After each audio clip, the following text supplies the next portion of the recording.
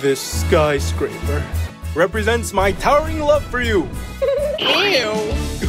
But I bought you a Lambo. Just like my other voice.